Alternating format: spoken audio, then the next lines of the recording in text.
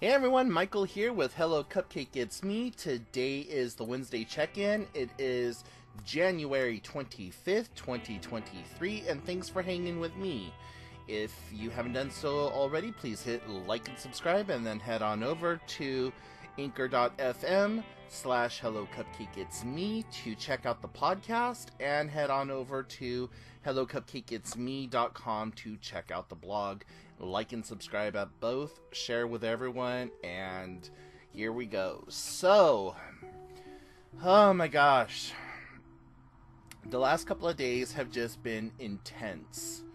Uh saturday i was going to go and do some of my monthly shopping that I needed to do and just get some like incidentals, you know, like toilet paper and things like that.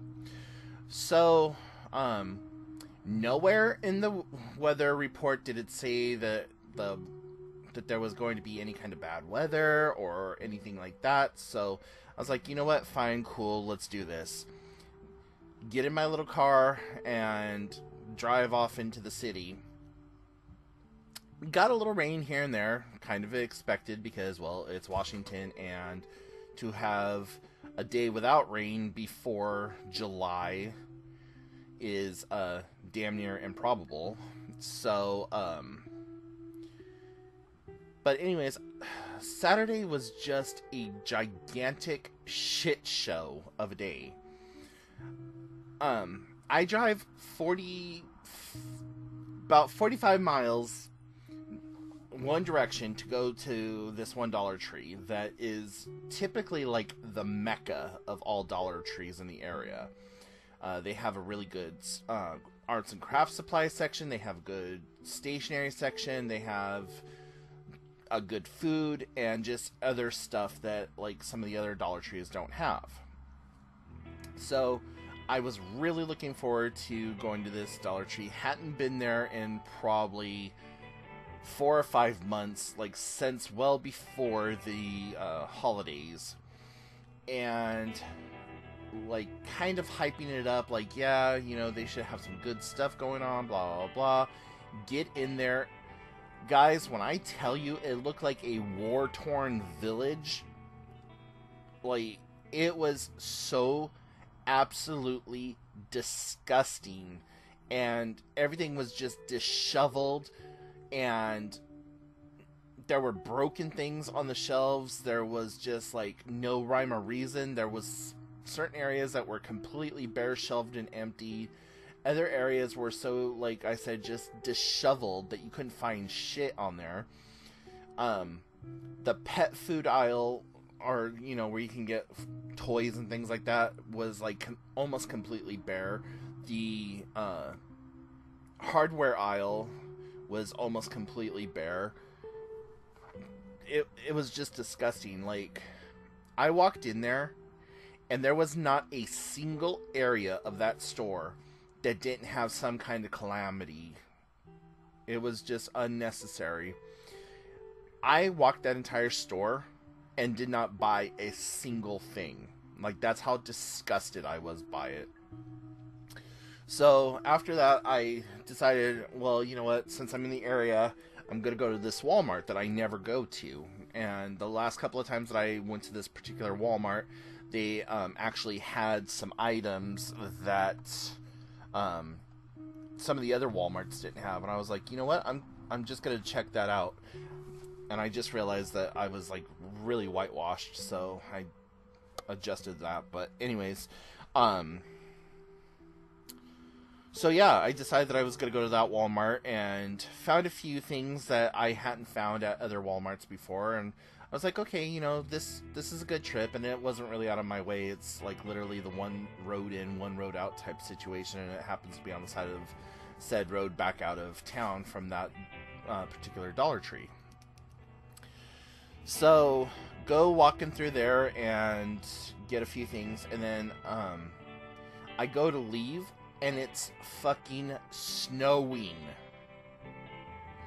Now, y'all know how I feel about snow, let alone having to drive in said snow or drive in said snow with Washington drivers who act like they've never seen a drop of rain, let alone a flake of snow. So I was like, damn it. I ended up going to another Dollar Tree, and by the time I got out of that Dollar Tree, it was like really coming down, like that's that mixture of snow, sleet, hail, and rain. And I was like, okay, well, I'm I need to hit up at least two more places while I'm here. But I'm I was hungry at this point, and I just had a few extra dollars that I could like swing by Burger King and uh, get some food. Now, here's a money t- saving tip: if you eat out, especially if you go to like Burger King or McDonald's, download their app because they always have specials that far outweigh like anything you can find on their menu. Uh, in my local area, they have a special for two Whoppers, two small fries, and two small drinks for $11.99. Now, if you bought that same combination, it would be almost 20 something dollars. Uh, there's also something that's always on my app for the Burger Kings in my area. You get four burg or four Whoppers, four Junior Whoppers, four fries, and um, I think four drinks, or it's just the four four four, and it's twenty dollars. Like, download that app. Same thing with McDonald's. McDonald's always has specials on things in their app, and as you purchase things from McDonald's, you get um, points or whatever, and then you can utilize those points for free meals and stuff. So, like, um, the cheapest meal that you can get with the points that I know of is the Happy Meal, and that's like 600 points or something like that. Which, you know, if you're not eating a big, if you're like not really that hungry, or you just want something kind of small and quick, you can get the Happy Meal, use your 600 points, and then add one of their $2 cheeseburgers and upgrade your Coke for a dollar. So for like less than $4, you can have the number 7. So it's like little hacks or whatever. But uh, definitely download the apps, especially Burger King. Sub Subway has some good ones every now and then, like buy buy a foot long get a foot long free, or buy one get you know they have a lot of bogos like that. Um, but yeah mcdonald's burger king and subway are the three apps that i use the most. I have wendy's on there every so often but um, i don't eat there enough to like really warrant having the wendy's app. I just happen to like open it up whenever i whenever the decision's made that we're going to wendy's i'm like oh okay let's see what the app has so um, Jack in the Box has the same thing. Um, I don't know how good their app is. Taco Bell has the same thing, and so does Del Taco. Again, I don't know what their apps are like, but it's well worth downloading the app if you're going to go to a fast food restaurant just to save yourself some money. Um, I also use another app called Gas Buddy, and this isn't paid promotion or anything like that. I'm not being paid to like talk about it or anything like that. I'm just telling you like what I do to save money. Um, you can download the app called Gas Buddy, or you can go to their website, gasbuddy.com or something like that, I think it is.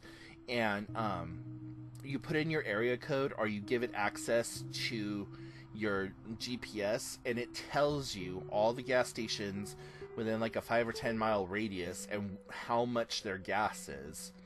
So that can help um, save a lot of money too. And I use Gas Buddy quite a bit, especially when I'm going into the city um, I always check to see who has the best gas. Nine times out of ten, it's um, one of the gas stations owned by the casinos. They're typically almost two dollars le- cheaper than like Safeway or Arco or any of those other gas stations. Um, but it's definitely a good app to keep on hand and uh, you as the user, if you register or whatever, you can put in uh, gas prices. So, like, say you saw gas for two seventy nine, and on on the gas buddy thing, it says that it's three twelve. you could put it in and say, "Hey, no, this is uh, 279," and then automatically timestamps it so that other users can see, "Oh yeah, today at 12:45 it was 2 279." So, you know, kind of gives you a little bit of a insight for there, and then you can also break it down to cash, debit, credit, um, diesel I don't think that they have uh, alternative fuels on there like ethanol or even. Um, I know that they don't have charging on there because it's literally just for petrol. But um, yeah, so just a couple of apps that I use that really help me kind of save a little cash here and there. Um, so after I got my lunch or whatever, um, and I started getting back on on the on the highway, I wanted to go by another Walmart, which was on my way home, and the one that I typically shop at. But it was just so horrible, like visual, like it coming down with the snow and the rain and everything, and the amount of people that don't drive with their fucking lights on. If you're one of those people, I seriously hope you stub your toe every day for the rest of your life until you die and like just and I hope your credit score falls. Like I hope you can never get your credit score above 515. Like you guys are the absolute worst. Um here in the state of Washington, everything is green. We're usually under like some kind of cloud coverage. So if you have a black, silver, white, or gray car, and you're driving your car with no lights on, we can't see you. Just because you can see doesn't mean everyone else around you can see.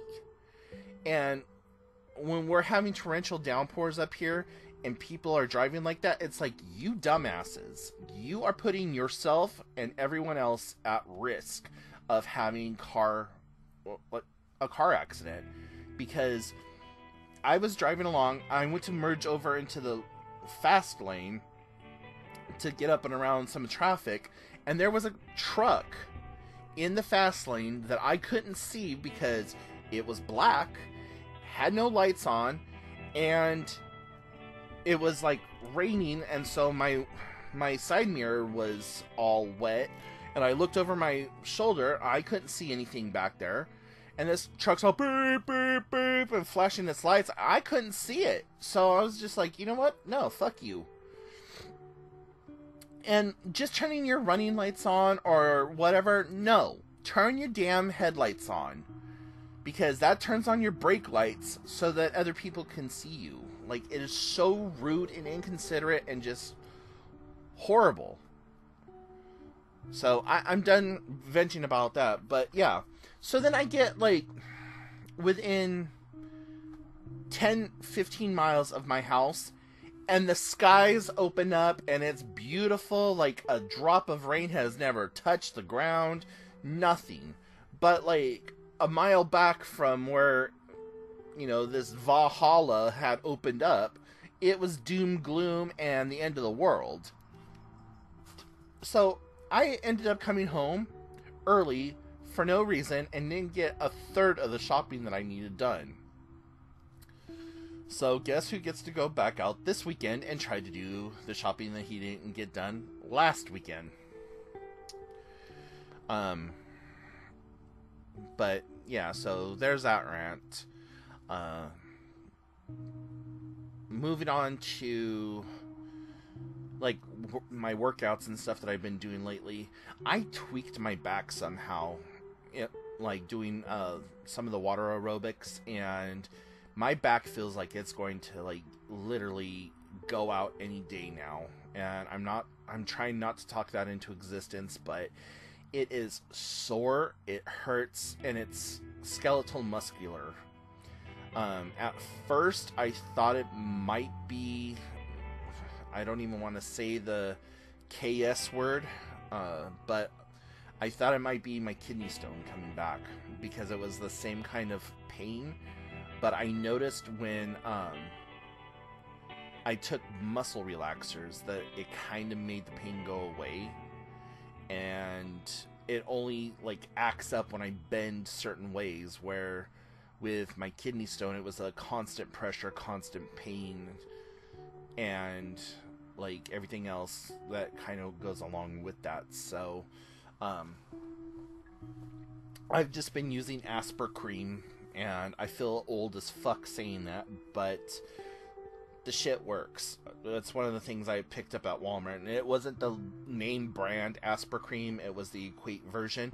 But literally the only difference between Aspercreme for $7.95 and the Equate for the same size tube and everything for four four seventy three or some Walmart fraction was one ingredient and it was some sternic acid or something like that. I was like, uh, I don't know what the sternic acid is, but I'm pretty sure I don't need it. So, um, I got that and it has been working so well, especially on my shoulders. That's what I mainly got it for was my shoulder. But last night I slathered some on my lower back, and within f- five minutes, I just felt my whole back go. Oh, thank you.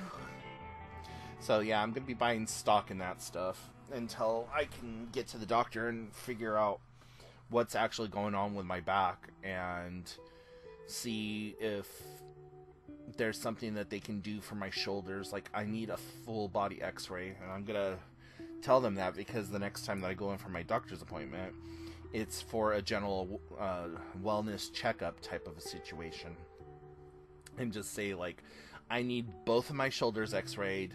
I need my right foot x-rayed because where my Achilles tendon is, it hurts so freaking bad. I rolled my ankle a while ago and it's just not healing. So every time I step down, it feels like needles are getting shoved up inside that inten- or that tendon.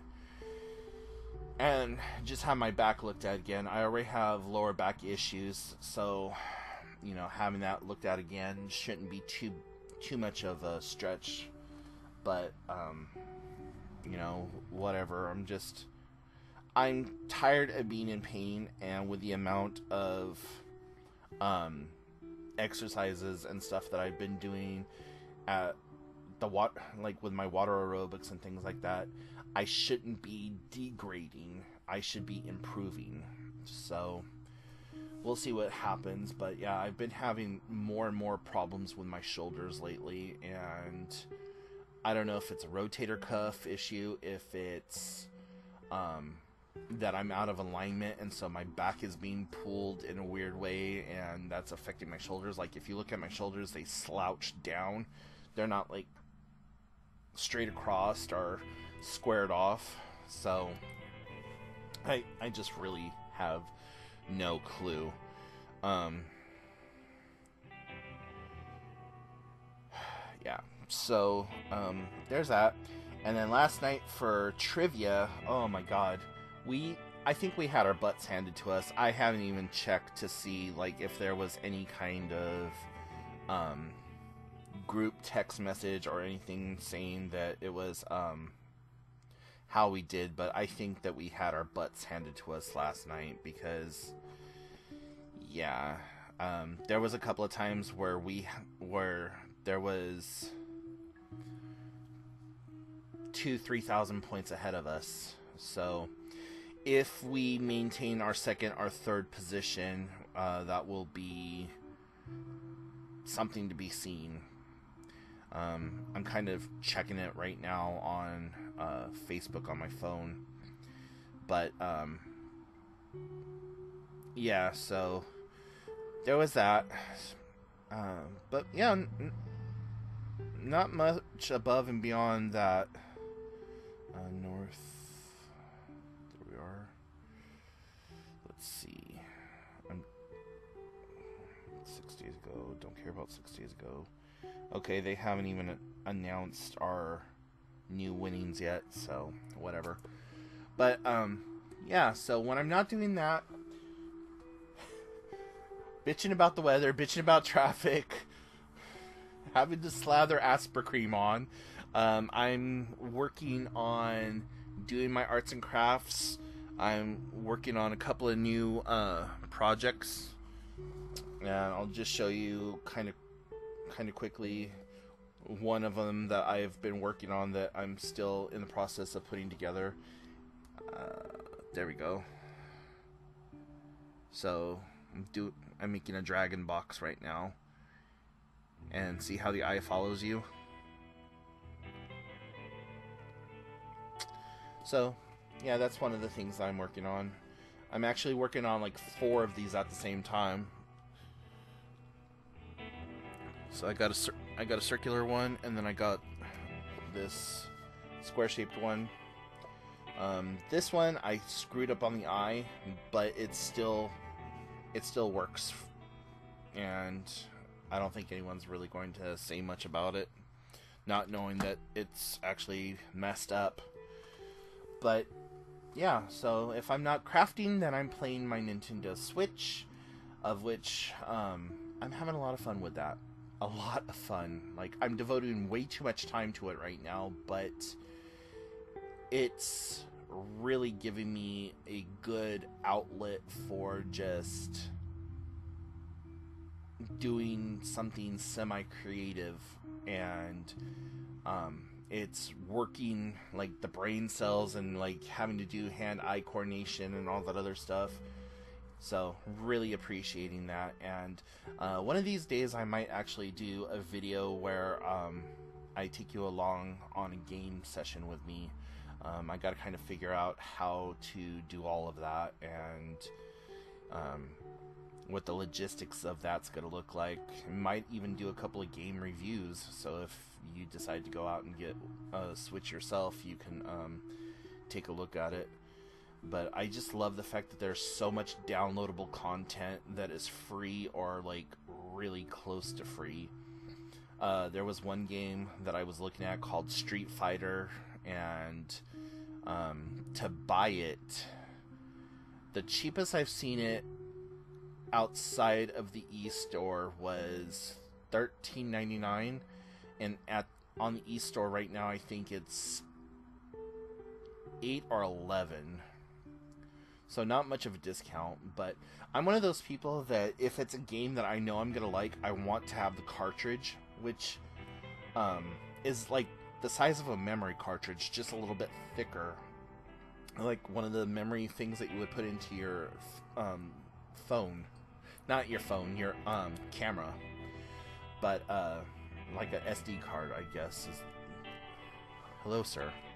Um, so yeah, but I like having the cartridges and the cases and stuff like that so that you can see them. And um, I have a lot of downloadable content because it's like 60 free, or I think the cheap, the most expensive game that I've bought so far was 8.99 and I have like a lot of downloadable game or a lot of downloaded games and I have six or seven actual cartridge games, and I just rotate through it like depending on what I want to zone out on. Like right now, I'm zoning out on uh, Super Mario Odyssey, and um, I was thinking about it the other day, and I have played just about every single Super Mario Brother game that has been out since the creation of Nintendo as a home gaming device. And um, it was kind of awe-inspiring that, like, in the 40 years of my life, that I've played almost every single Mario-based game there is. Um, there's probably 15, if I had to count, maybe about 15 that I haven't played. But like Mario typing and stuff like that, like I've never done anything like that. But for the handheld games, I've played most of most of them, and uh, just seeing this new iteration of the Mario franchise was kind of cool and kind of interesting and a nice, fresh take and spin on the Mario, um, the Mario character and everything. Like same premise, the princess gets stolen by the bad guy, you have to go find the princess and fight the bad guy and all of his minions. But the storyline is a little bit different. Like you have new power ups and you have new abilities and you have new weapons and this, that, and the other thing. So I don't know. It makes it fun for me. But anyways, guys, I'm going to stop with that because I'm going to start rambling and getting really geeky and nerdy and turn a 25 minute video into a three hour video of me just sitting here rambling on. So I'm going to let you go. Go check out the podcast, anchor.fm slash hello cupcake it's me. Go give it some love. Go give the blog hellocupcakeitsme.com some love. Got questions, comments, concerns, put them in the comments section down below. Hit me up at hellocupcakeitsme at gmail.com if you need to, and I will talk to y'all later. Bye, guys.